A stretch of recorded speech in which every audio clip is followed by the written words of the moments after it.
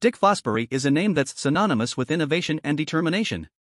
He revolutionized the high jump and changed the way the world looked at the sport. In the 1960s, the high jump was dominated by athletes who used the straddle technique, which involved jumping over the bar face down and rolling over it. But Dick Fosbury had a different idea. He realized that by arching his back and lifting his hips, he could clear the bar with greater ease and reach greater heights.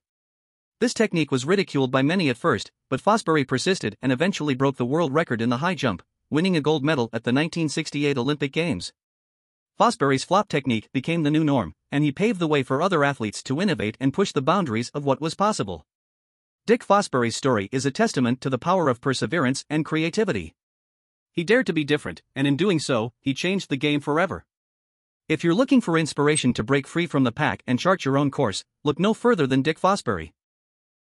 For more videos like this please subscribe to the channel.